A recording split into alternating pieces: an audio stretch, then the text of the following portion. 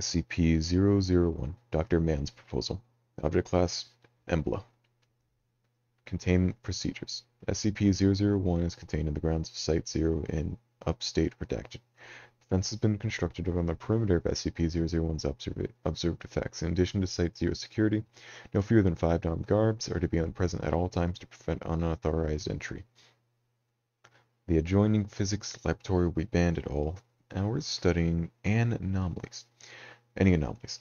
A small metal plaque bearing the inscription to be maintained in good condition and any damage to be immediately reported to maintenance. Description. SCP-001 is a circular gravel path in the one area that traveled in a counterclockwise direction. The trail continuously uphill even after reaching the origin point.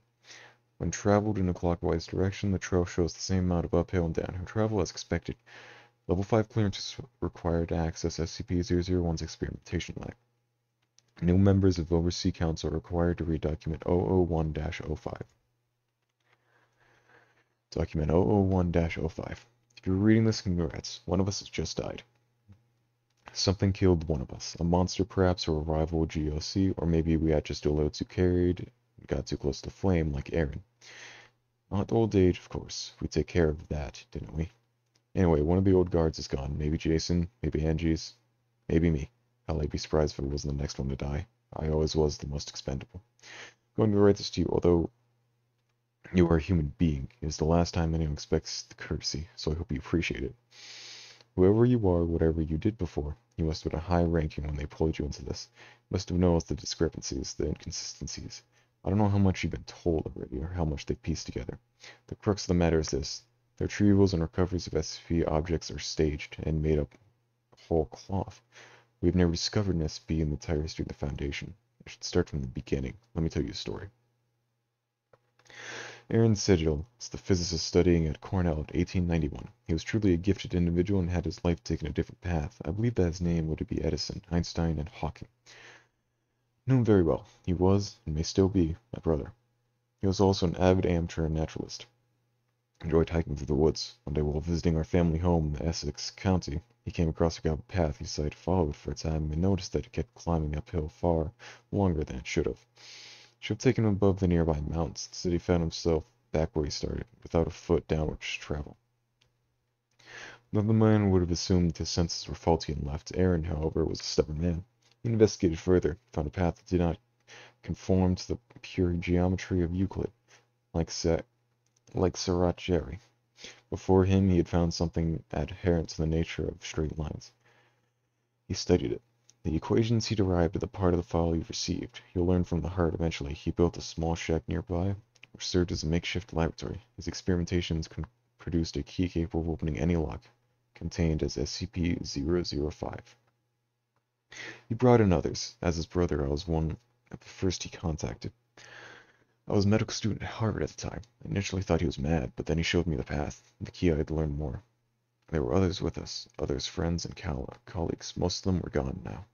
But we were the core, created the foundation from around ourselves. In the beginning, it was just a discovery, about finding things we could do. We had such high hopes, such plans. We were going to change the world. We were going to save it from itself. We would feed the hungry, shelter the homeless, heal the sick and dying. Thomas Carter found us money. We were none of us poor, but we ran through our fortunes quickly. Thomas used connections on Wall Street and Washington to fund us. He showed them the least of what we could do, promised heaven against the threat of hell. Agnes Peterson, my brother's fiance, was administrator. We knew nothing of how to run an organization. We were herd of cats running to and fro.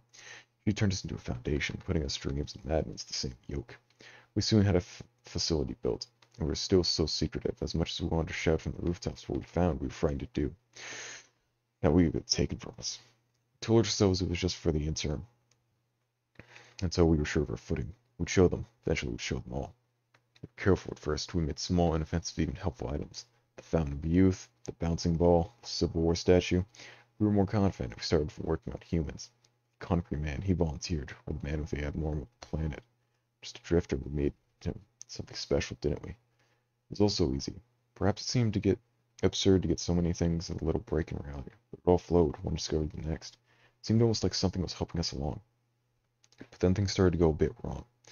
While we were playing with the equations, Aaron's accidentally delivered the missing number. In my laboratory, I found I made a zombie plague, but we were too invested in our project, so we pushed ahead. Then came the pipe nightmare, the stairwell. We knew we'd need more help.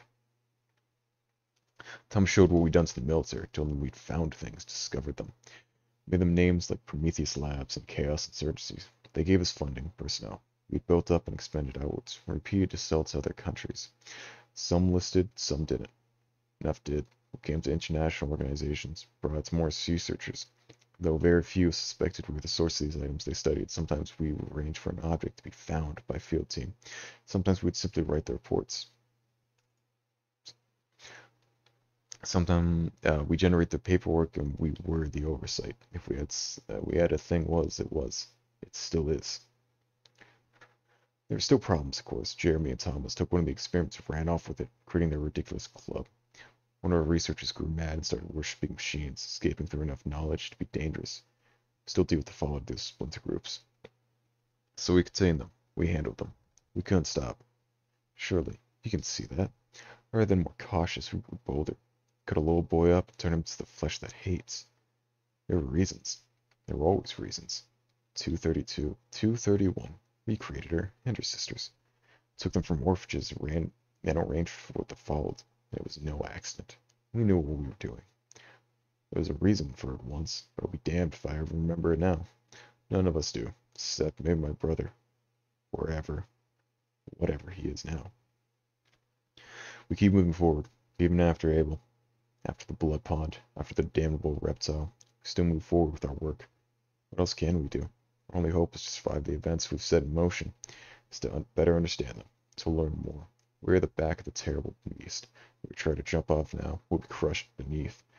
But that's not what frightens me. That isn't what should frighten you.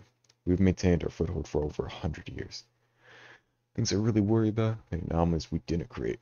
No, I was telling the truth the first time. We didn't discover any of them. But some of them, they aren't our work. They just were one day. They were in containment, they'd always been in containment. Don't you see?